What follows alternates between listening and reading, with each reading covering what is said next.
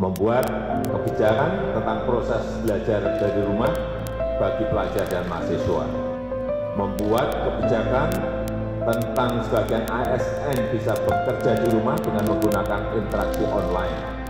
dengan tetap mengutamakan pelayanan yang prima kepada masyarakat, menunda kegiatan-kegiatan yang banyak orangnya,